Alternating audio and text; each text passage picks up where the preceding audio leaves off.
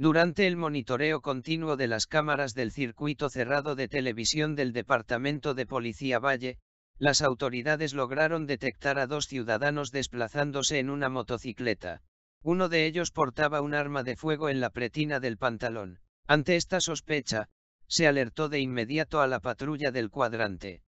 Yo soy padre. En el marco del nuevo servicio de policía orientado a las personas y territorios, personal adscrito a la estación de policía Palmira realizó la captura en flagrancia de dos personas, una femenina y un masculino, en el sector de San Cayetano, en el municipio de Palmira. Luego de un proceso de seguimiento a través de nuestro circuito cerrado de televisión, establecido en la central de radio, se pudo establecer que estas personas se movilizaban en una motocicleta portando un arma de fuego tipo revólver.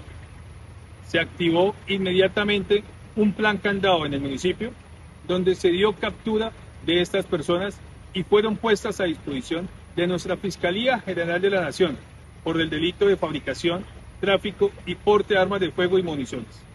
Invitamos a la ciudadanía a que sigamos denunciando a la línea de emergencia 123 los diferentes casos tanto de comportamientos contra la convivencia o delitos que nos aquejan esta ciudad.